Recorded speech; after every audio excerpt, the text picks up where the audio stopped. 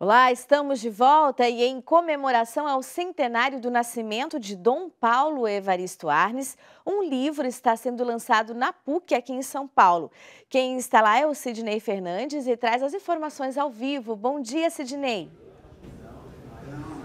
Bom dia, Delita. Bom dia a todos que acompanham o Canção Nova Notícias. Notícia quentinha saindo do forno e livro quentinho também saindo do forno. O lançamento do livro sobre Dom Paulo Evaristo Arnes acontece aqui na PUC Campus Ipiranga. Dom Paulo Evaristo Arnes, que nasceu em Forquilinha, Santa Catarina, e faleceu aqui em São Paulo em 2016. O exemplar tem o título Dom Paulo Evaristo Arnes, um franciscano apaixonado pelo reino de Deus na cidade. Está aqui nas mãos do professor Edélcio Ottaviani, ele que é um dos organizadores. Professor, bom dia, obrigado por nos atender. Em resumo, o que temos nesta obra? Bom, bom dia a todos. Primeiramente, é uma obra que é, responde também à comemoração dos 100 anos de nascimento de, de Dom Paulo.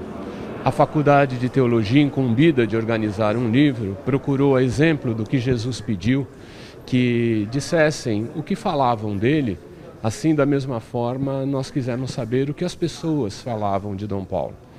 E por isso escolhemos então uh, pessoas que tinham uma ligação direta ou indiretamente com Dom Paulo e com os temas tratados. O livro ele tem três partes, porque ele é inspirado no munus episcopal de um decreto conciliar chamado Christus Dominus, que trata sobre a função do bispo. É um decreto dentre os 16 documentos conciliares que procura então aplicar uh, três elementos importantes neste munus episcopal, que é o munus de ensinar, de santificar e de governar. O livro não é original no sentido de pedir a outras pessoas que digam o que, que fez Dom Paulo e quem era Dom Paulo. Ele é original justamente em colocar essas três partes, né? E, e se inspirar neste munus, que é também o munus de santificar, como dissemos, de ensinar e de governar.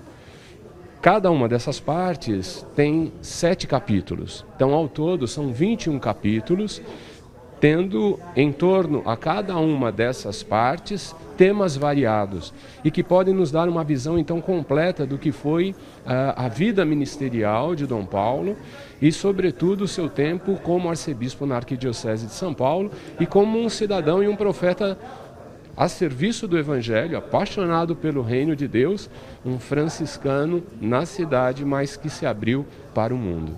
Ok, obrigado pelas informações, pela, parabéns pela obra. E mais tarde, no Canção Nova Notícias, edição da noite, a gente traz um resumo do livro. Tem aqui também uma exposição sobre o Cardeal Arnes e também a abertura da Semana Teológica, que foi feita agora há pouco e que também tem como tema central a vida de Dom Paulo Evaristo Arnes.